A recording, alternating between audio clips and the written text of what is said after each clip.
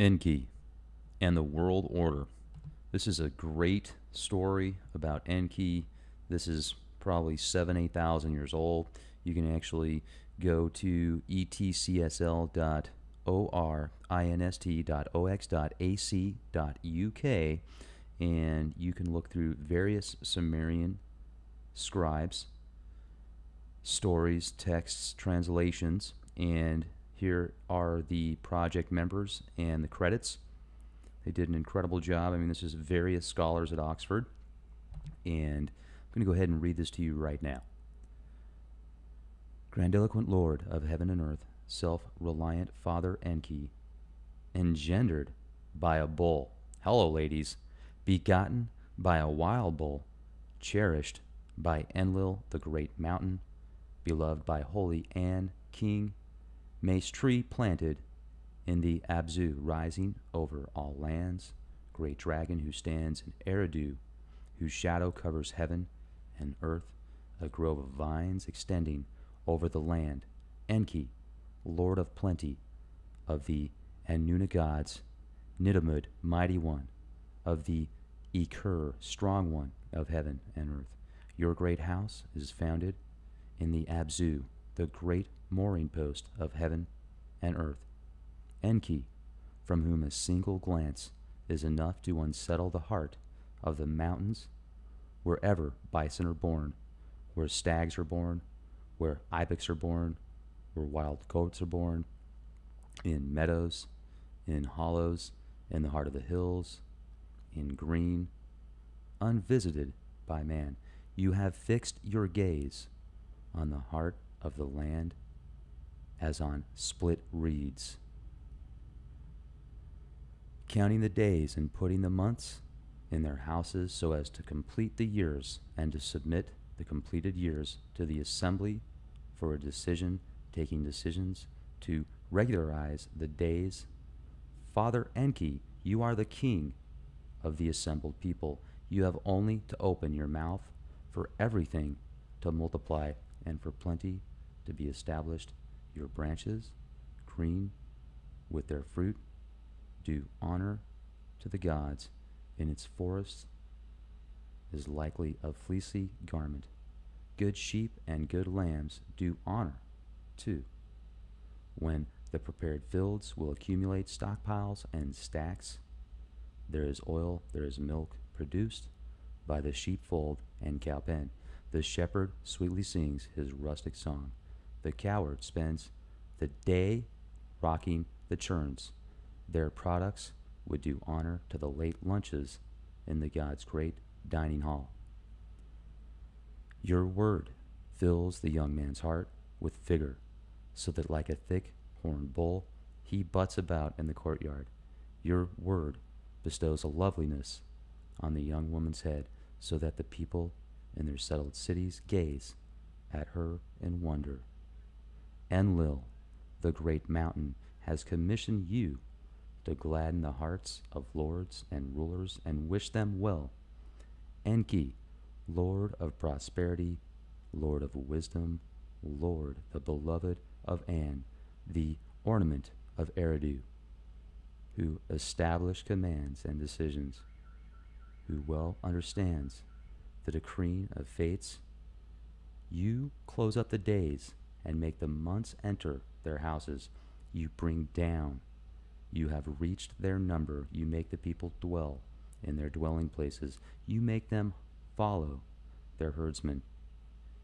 You turn weapons away from their houses. You make the people safe in their dwellings. When Father Enki goes forth to the inseminated people, good seed will come forth. When Nudimmud goes forth to the good pregnant ewes, good lambs will be born. When he goes forth to the fecund cows, good calves will be born. When he goes forth to the good pregnant goats, good kids will be born. Huh? If you go forth to the cultivated fields, to the good germinating fields, stockpiles and stacks can be accumulated on the high plain. If you go forth to the parched area of the land, Enki, the king of Abzu, rejoicing in great splendor, justly praises himself My Father, the King of heaven and earth, made me famous in heaven and earth. My elder brother, the King of all the lands, gathered up all the divine powers and placed them in my hand. I brought the arts and crafts from the Ekur, the house of Enlil, to my Abzu in Eridu. I am the good seaman, begotten by a wild bull. Bingo! I am the firstborn of An. I am a great storm rising over the great earth. I am the great Lord of the land. I am the principal among all rulers, the father of all the foreign lands. I am the big brother of the gods. I bring prosperity to perfection. I am the seal keeper of heaven and earth. I am the wisdom and understanding of all the foreign lands. With An, the king of An's dais, I oversee justice. With Enlil looking out over the lands, I decree good destinies he has placed in my hands. The decreeing of fates in the place where the sun rises, I am cherished. By Nintur, I am named with a good name. By Ninhursaja, Ninhursaga, I am the leader of the Anuna gods. I was born as the firstborn son of Holy An. After the Lord had proclaimed his greatness, after the great prince had eulogized himself, the Anuna gods stood there in prayer and supplication. Praise be to Enki, the much praised Lord who controls all the arts and crafts, who takes decisions. Doesn't this sound like Lucifer? In a state of high delight, Enki, the king of the Abzu, rejoicing in great splendor, again justly praises himself. I am the Lord. I am one whose word is reliable. I am one who excels in everything. At my command, sheepfolds have been built, cowpens have been fenced off. When I approach heaven, a rain of abundance rains from heaven. When I approach earth, there is a high carp flood. When I approach the green meadows and my word stockpiles and stacks are accumulated, I have built my house a shrine in a pure place and named it with a good name. I have built my Abzu a shrine in and decreed a good fate for it. The shade of my house extends over the pool. By my house, the Sahur carp dart among the honey plants, and the Eastoop carp wave their tails among the small gizzy reeds. The small birds chirp in their nests. The lords pay heed to me. I am Enki. They stand before me, praising me. The Abgal priests and Abrig officials who stand before me, distant days. The Enkum and Ninkum officiants organize. They purify the river for me. They, the interior of the shrine, for me. In my Abzu, sacred songs and incantations resound for me. My barge crown, the stag of the Abzu, transports me, their most delightfully. It glides swiftly for me through the great marshes to wherever I have decided it is obedient to me. The stroke collars make the oars pull in perfect unison. They sing for me pleasant songs, creating a cheerful mood on the river. Niger Sig, the captain of my bards, holds the golden scepter. For me, I am Enki. He is in command of my boat, stag of the Abzu. I am the Lord. I will travel. I am Enki. I will go forth into my land. I, the Lord, who determines the fates. I will admire its green cedars. Let the lands of Meluha, Magan, and Dilmun look upon me, upon Enki. Let the Dilmun boats be loaded with timber. Let the Magan boats be loaded sky high. Let the Magellan boats be Meluha, transport gold and silver, and bring them to Nibru for Enlil, king of all the lands. So let's go back here for a second. Time out. Enki just said that he's loading up boats sky high, transporting them with gold and silver, and bringing them to Nibiru for Enlil, which is king of all the lands. Enlil, Yahweh. What is Nibiru? Where is Nibiru? Okay, I'm going to continue now.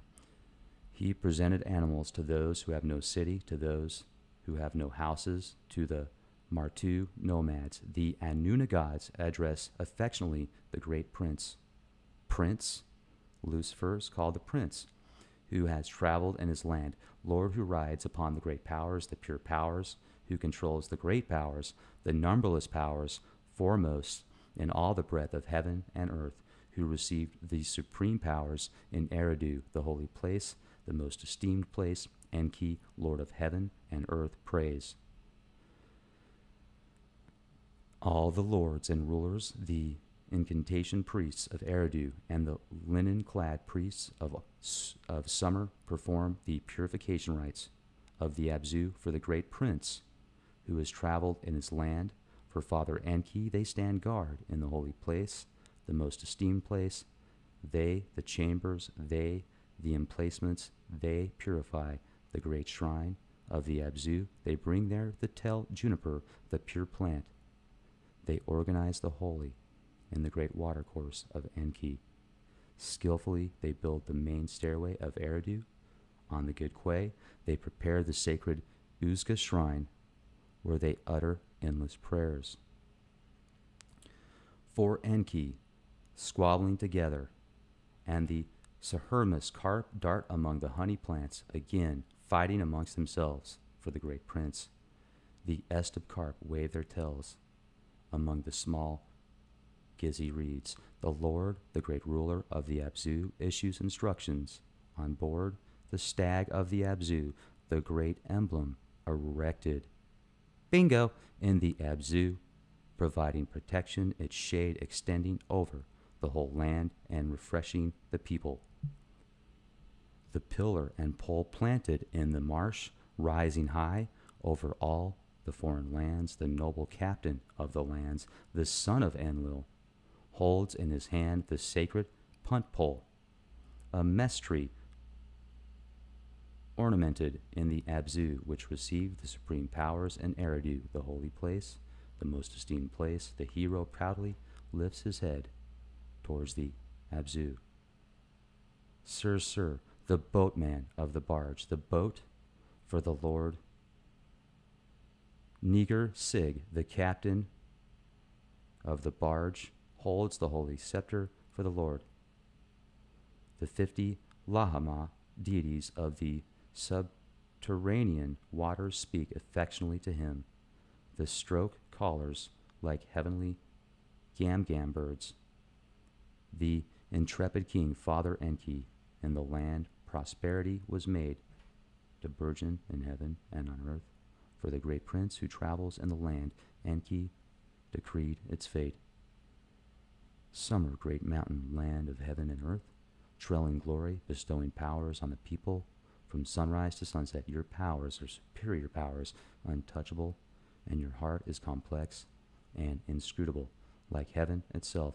Your just matrix, in which gods too can be born, is beyond reach, giving birth to kings who put on the good diadem, giving birth to lords who wear the crown on their heads. Your Lord, the honor, Lord, sits with Anne the king on Anne's dais. Your king, the great mountain, Father Enlil, the father of all the lands, has blocked you impenetrably like a cedar tree. The Anuna, the great gods, have taken up dwellings in your midst and consumed their food in your Geguna shrines among the unique and exceptional trees. Household Sumer, may your sheepfolds be built and your cattle multiply. May your Geguna touch the skies. May your good temples reach up to heaven. May the Anuna determine the destinies in your midst. Then he proclaimed, then he proceeded to the sanctuary of Urim. Enki, lord of the Abzu, decreed its fate. City which possesses all that is fitting, bathed by water, sturdy bull, author of abundance that strides across the mountains, rising like the hills, forest of Hasur cypresses with broad shade. Self confident, may your perfect powers be well directed. The great mountain Enlil has pronounced your name great in heaven and on earth, city whose fate Enki has decreed, sanctuary of Urim, you shall rise high to heaven. Then he proceeded to the land of Meluha. Enki, lord of the Abzu, decreed its fate. Black land, may your trees be great trees, may your forests be forests of highland. These trees, chairs made from them with grace, royal palaces, may your reeds be great reeds, may they, heroes shall them on the battlefield as weapons, may your bulls be great, bulls, may they be bulls of the mountains, may their bellowing be the bellowing of wild bulls of the mountains, the great powers of the God shall be made perfect for you. May the francolins of the mountains wear cornelian beards. May your birds all be peacocks. May their cries grace royal palaces. May all your silver be gold. May all your copper be tin bronze. Land may all you possess by plentiful. Be plentiful. May your people May your men go forth like bulls against fellow men. Ding dong! He cleansed and purified the land of Dilmun. He placed Nsikla in charge of it. He gave for the fish spawn, ate its fish, bestowed palms of the cultivated land, ate its dates. Elam and Marhasi to devour the king, endowed with strength by Enlil destroyed their houses, demolished their walls. He brought their silver and lapis lazuli, their treasure, to Enlil, king of the lands, in Nibiru. Enki presented animals to those who have no city, who have no houses, to the Martu nomads. After he had turned his gaze from there, after Father Enki had lifted his eyes across the Euphrates, he stood up full of lust, like a rampant bull, lifted his penis, ejaculated and filled the Tigris with flowing water. He was like a wild cow mooring for its young in the wild grass. Its scorpion infested cow pen, the Tigris at his side, like a rampant bull.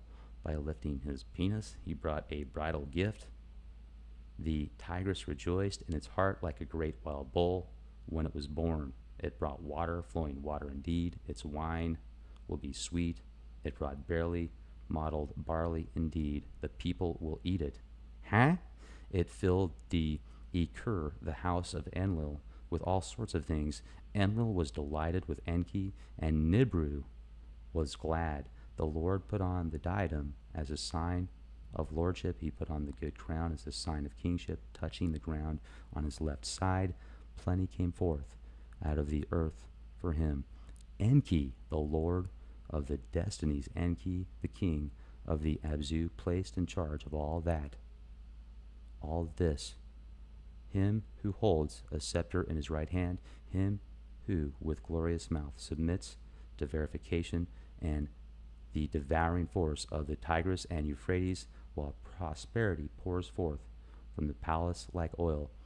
Enbilulu, the inspector of waterways, he called the marshes and gave them the various species of carp. He spoke to them reed beds and bestowed on them the old and new growths of reeds.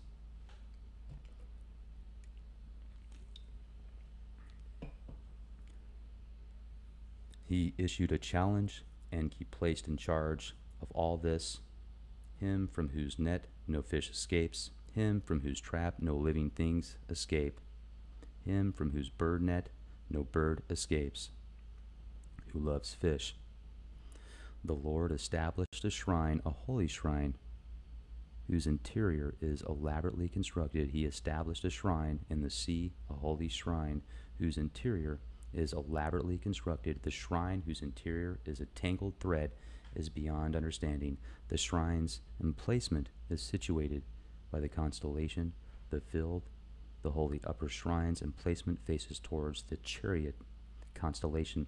Its terrifying sea is a rising wave. Its splendor is fearsome. The Anuna gods dare not approach it. To refresh their hearts, the palace rejoices. The Anuna stand by with prayers and supplications. They set up a great altar for Enki in the E and Gura for the Lord, the great prince, the pelican of the sea.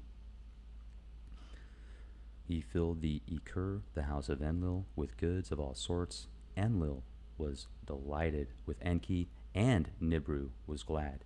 Enki placed in charge of all this over the wide extent of the sea, her who sets sail in the holy shrine, who induces sexual intercourse, who over the enormous high flood of the subterranean waters, the terrifying waves, the inundation of the sea, who comes forth from the mistress of Sarara, Nanshe.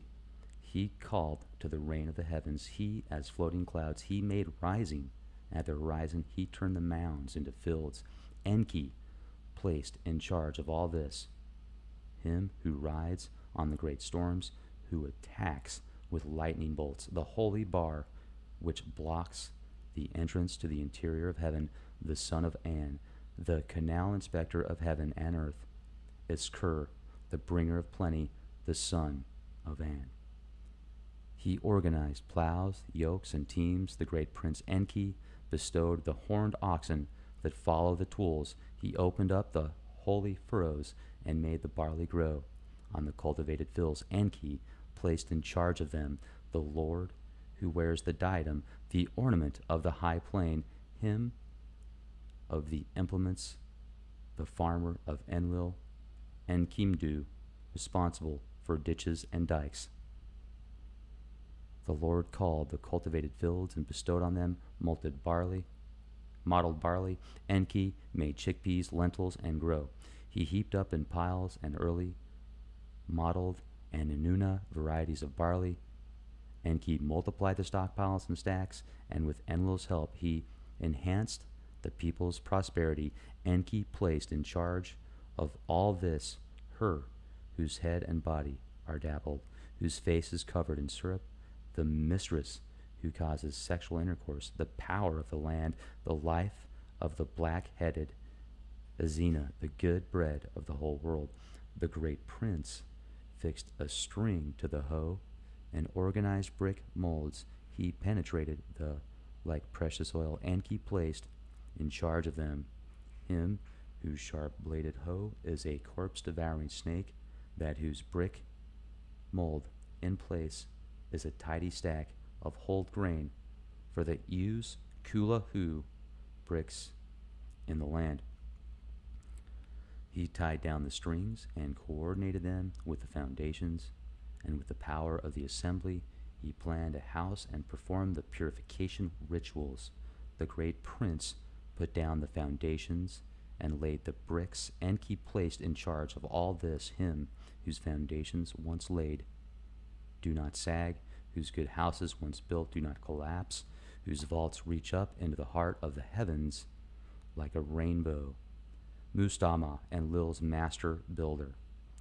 He raised a holy crown over the upland plain. He fastened a lapis lazuli beard to the high plain and made it wear a lapis lazuli headdress. He made this good place perfect with greenery and abundance. He multiplied the animals of the high plain to an appropriate degree. He multiplied the ibex and wild goats of the pastures and made them copulate and he placed in charge of them the hero, who is the crown of the high plain, who is the king of the countryside, the great lion of the high plain, the muscular, the hefty, the burly strength of Enlil, Sakan, the king of the hills. He built the sheepfolds, carried out their cleaning, made the cow pens, bestowed on them the best fat and cream, and brought luxury to the gods, dining places. He made the plain, created the greenery, achieved prosperity. Enki placed in charge of all this the king, the good provider of Iana, the friend of An, the beloved son in law of the youth Suen, the holy spouse of Inanna the mistress, the lady of the great powers who allows sexual intercourse in the open squares of Kulaba, Dumuzid, Usumgal, Anna, the friend of An. He filled the Ekur, the house of Enlil, with possessions. Enlil was delighted with Enki, and Nibru was glad. He demarcated borders and fixed boundaries for the Anuna gods. Enki situated dwellings in cities and disposed agricultural land into fields. Enki placed in charge of the whole of heaven and earth, the hero, the bull who comes out of the Hasur forest, bellowing, truculency.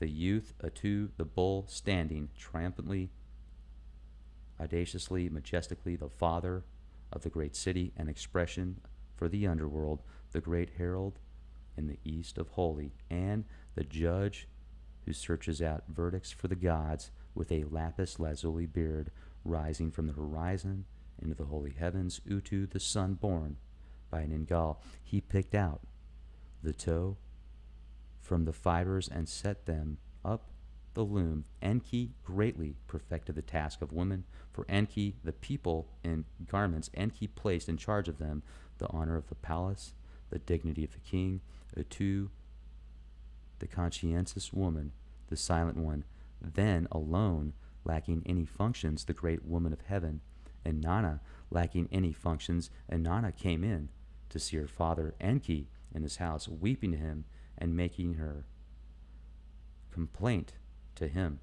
Enlil left it in your hands to confirm the functions of the Anuna, the great gods. Why did you treat me, the woman, in an exceptional manner? I am holy, Inanna, where are my functions? Aruru, Enlil's sister, Nintur, the lady of given birth, is to get the holy birth bricks as her pre prerogative. She is to carry off the lancet for umbilical cords, umbilical cords, the special sand and leeks.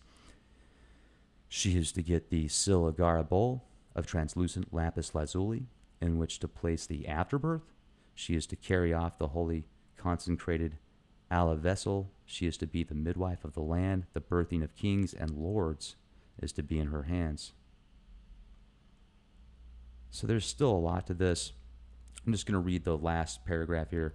Inanna, you heap up human heads like piles of dust. You sow heads like seed. Inanna, you destroy what should not be destroyed. You create what should not be created. You remove the cover from the semdrum of lamentations. Maiden and while shutting up the tigi and Adab instruments in their homes, you never grow weary with admirers looking at you. Maiden and you know nothing of trying the ropes on deep wells, but now the heart has overflowed, the land is restored. Enlil's heart has overflowed, the land is restored, in his overflowing heart of mankind. Lapis lazuli headdress is your prerogative, is your prerogative, is your prerogative, is your prerogative. Fascinating. Well, that's about 7,000 years old, you guys. So if you look at a lot of the connections there, another thing that I think is interesting that I had pulled up earlier, let me see if I can find this, is the. hmm. No. Well, it was the previous podcast where I showed the. For the Oscars, they had a giant monument of the Ajiji, and it looked like Anu, and then the Tree of Life.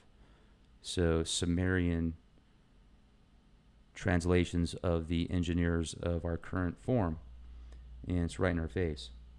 So, what did you get out of this ancient text?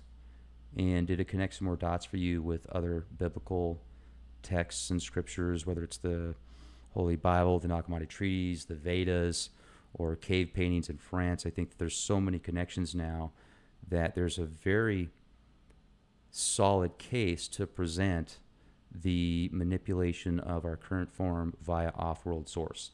And when it says Nibiru is happy in this, what do they mean by Nibiru is happy? How does that make sense?